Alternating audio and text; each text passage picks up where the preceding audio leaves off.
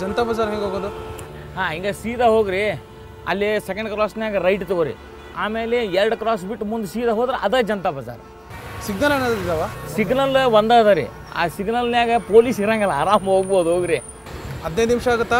ಏ ಹದಿನೈದು ನಿಮಿಷ ಅದಕ್ಕೆ ಬೇಕು ರೀ ಆರು ಮಿನಿಟ್ನಾಗ ಇಲ್ಲಿಂದ ನೀವು ಕ್ರಾಸ್ ಆಗಿ ಅಲ್ಲಿಗೆ ಹೋದ್ರೆ ಹೋಗ್ಬಿಡ್ತೀರಿ ಅಷ್ಟೇ. ಹಾಗಾದ್ರೆ ನಾನು ಬರೋದಿಲ್ಲ. ಹಾಂ?